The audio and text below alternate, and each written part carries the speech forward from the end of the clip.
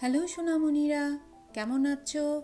সবাইকে story time with a friends চ্যানেলে স্বাগতম। আজকে আমি তোমাদের জন্য ছোট্ট একটি গল্প নিয়ে এসেছি। গল্পটির নাম লেজ কাটা শেয়াল। তাহলে চলো শুরু করা যাক। একটা শিয়াল ফাঁদে পড়ল। যারা ফাঁদ পেতেছিল শেয়ালকে তারা মারতে এলো। কিন্তু শেয়াল কান্নাকাটি করায় শুধু লেজটা কেটে তাকে ছেড়ে দিল। শেয়াল প্রাণে বেঁচে গেল। কিন্তু লেজ না থাকায় শেয়ালেরা তাকে ঠাট্টা করতে লাগল।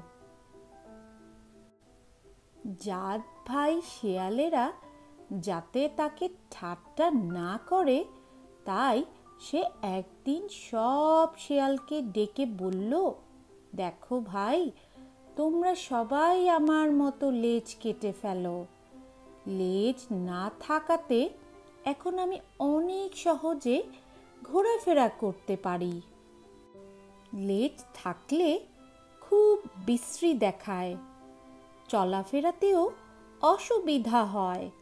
তাছাড়া শুধু শুধু লেজটাকে বয়ে বেড়াতেও হয়। আমরা এতদিন লেজ রেখেছি কেন? তাই শুধু অবাক হয়ে ভাবছি। এ কথা শুনে এক বুড়ো শেয়াল সামনে এগিয়ে এলো।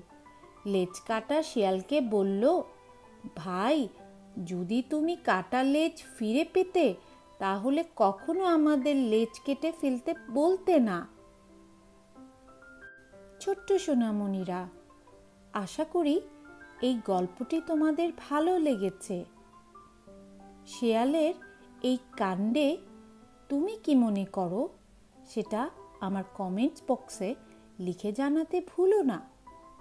আবার দেখা হবে নতুন কোনো গল্প নিয়ে। সেই পর্যন্ত বা বাই